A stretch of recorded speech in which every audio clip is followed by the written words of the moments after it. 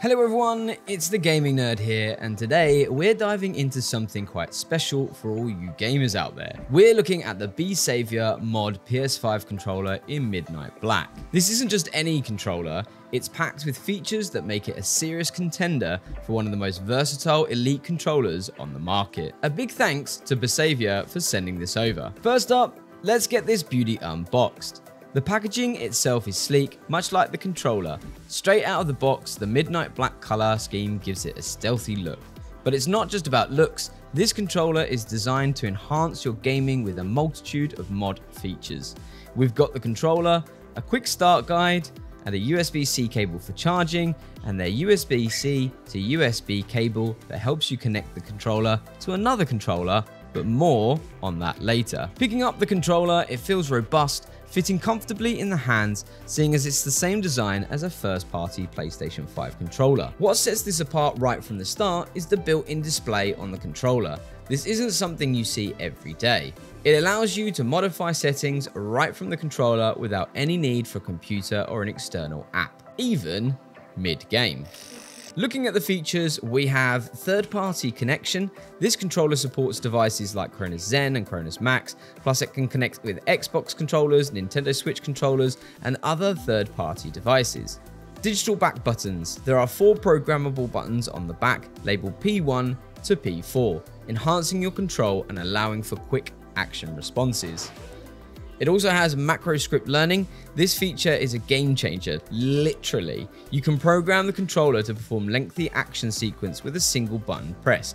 Perfect for tasks like stratagem combinations in Helldivers 2. Plus, it's also plug and play. Simplicity at its best. It's easy to use, but packed with extensive mod capabilities without any restrictions. You've also got mapping and turbo features where you can remap any button and assign turbo functions to speed up your gameplay.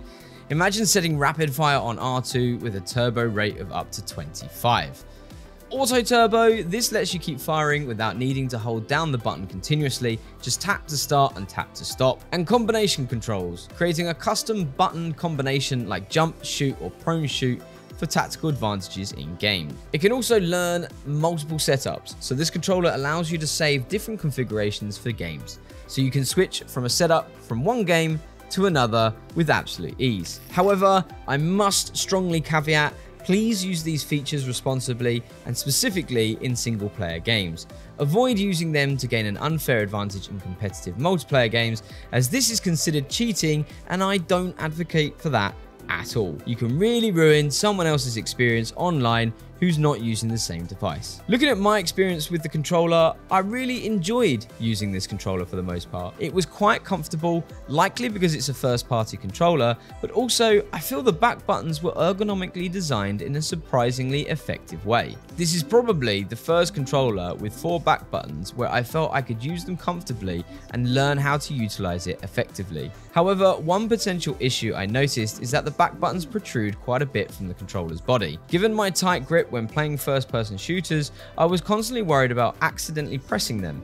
While this did happen, it wasn't as frequent as I initially feared, and over time, it became less of a concern after extended use. The battery life of the controller met my expectations, I didn't feel the need to recharge it over multiple gaming sessions, and while it may have lasted slightly less than a typical first party controller, possibly due to the Besavior modifications, the difference wasn't significant enough to be a problem, and could quite possibly just be a placebo. My main suggestion for improvement concerns the triggers. As a first-person shooter enthusiast, I am accustomed to having trigger stoppers, which this controller lacks. This might be due to Sony's focus on haptic feedback for their first party controllers, where introducing trigger stoppers could potentially interfere. It's a trade off between haptic feedback and trigger functionality that controller manufacturers need to consider. It would be beneficial if Besavior could explore integrating trigger stoppers in the future versions. Aside from this, the buttons were excellent, with no stick drift. The controller's buttons were comfortable to use and I adapted to them quickly, Overall, it was a pleasure to use this controller. The Besavior not only looks great, but offers functionalities that can enhance your gaming experience, making it an incredibly versatile for any type of game you're into. If you're considering stepping up your game with an Elite controller, this might just be the way to go, especially as this is the only controller and device actually that I have seen which successfully lets you use other platform controllers.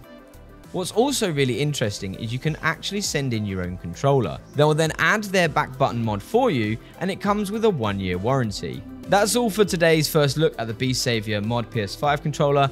Drop a comment below if you're as excited about this controller as I am, and hit that like button if you enjoyed the video. Don't forget to subscribe and follow for more gaming tech reviews. Thanks for watching, and I'll see you in the next one.